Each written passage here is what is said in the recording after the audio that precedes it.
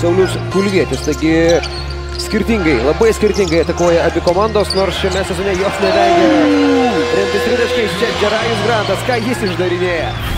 demonstruoja, jog gali apgauti vaikus, jog savo sportbačiuose turi įsitaisęs spiruoklės. Ir būtent tie nepataikyti metimai, nors situacijos tikrai nebūna blogos, neleidžia pasvalio ekipai išlyginti rezultato ar pirmauti. Čia Nikita Balašovas.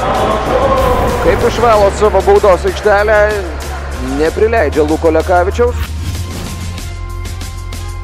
Turi vilčių laimėti šį pirmąjį kelnį, jeigu žinoma Vilniaus Lietuvos rytas šios paskutinės savo atakos neužbaigs sėkmingai. Ir štai taip, ataka žemė oras, Corey Fisheris ir Adamas Lapeta užbaigė ketvirtį labai sėkmingai. Hartensteinui gal sunkiai sekasi pataikyti, bet jis yra atkovojęs 8 kamolius ir matėme ne vieną gerą epizodą gynyboje. Valinskas.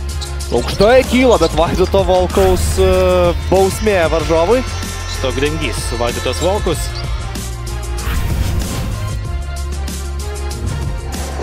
Vienas žemiausių šio sezono Lietuvos krepšinio lygos krepšininkų.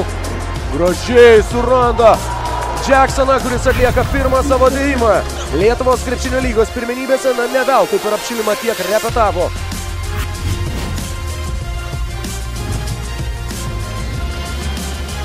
Tokas Gedraitis arčiau krepšio. O, Wow. Drew Gordono galingas šuolis, e, kaip jo brolis, taip ir jis pats. Pagal juos Alytiškiai yra pirmi visoje lygoje, vidutiniškai po 13,5. Ir tiekilius Kazakauskas ir Karolis Guščikas puikiai tą daro, čia Martino Echodo. Dėjimas iš viršaus 19 metis drebina.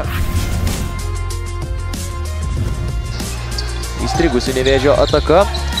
Germinas Lavas, matyti, jis nori būti gelbėtojų. Kymantas. O, Rokas Gedraitis, kaip gesina Simoną Kymantą. Na, vidurio polėjas, aišku, irgi turėtų sužaisti tvirčiau ir stipriau tokiose situacijose. Rokas Motumas į savo stiprią kairę pusę širkšti pražanga ir kokį metimą pataiko Brokas Motumas. Tiesiog išleido kamuolį iš rankų krepšio link ir labai patinka toks metimas visiems susirinkusiems Žalgirio arenoje. Karolis prieš Martyną Echodą. Du krepšininkai žaidė vienose, kom, vienoje komandoje. Wow! Neįtikėtina ataka.